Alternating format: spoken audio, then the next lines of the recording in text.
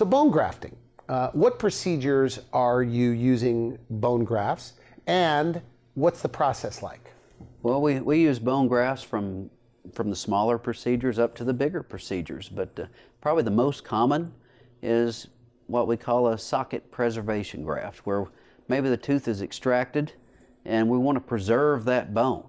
And uh, we're able to get the bone from a bottle. Everybody likes things that comes from a bottle, right? Okay. well, because uh, you know, in Europe, you can't get bone from bottles, you know, Okay. and, and we have bone banks in America that we're able to do that. In Europe, they have to take bone from your chin or from your leg on some of those. And uh, but in America, we're able to.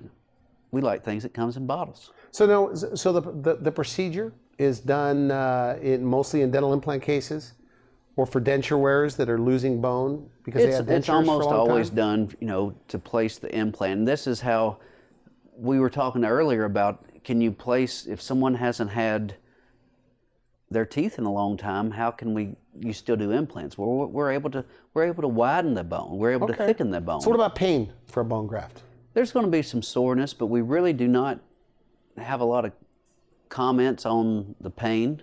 Uh, the majority of the cases that we do, Okay, so bone grafting is not something to worry about. no, not at all.